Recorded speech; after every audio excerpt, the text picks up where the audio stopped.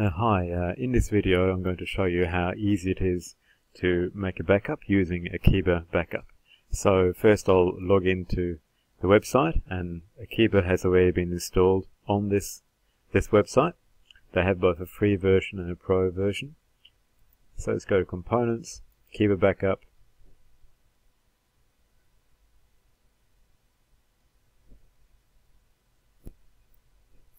and uh, we have already uh, configured uh, Akeeba to run on this website.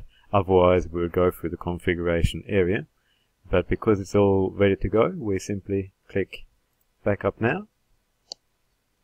And click backup again to go through the backup process. Once uh, the backup has been done uh, you can go back to the Akeeba area and click on manage backups to view backups that are available on the website and even to restore a backup. Restoring a backup can be um, a little bit complicated if you don't know the technical side of Joomla, so I'd recommend uh, having contact with a web designer who can help you in the process.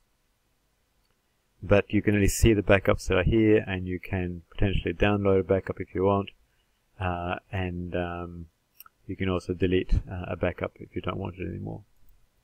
So uh, that is the Akeeba backup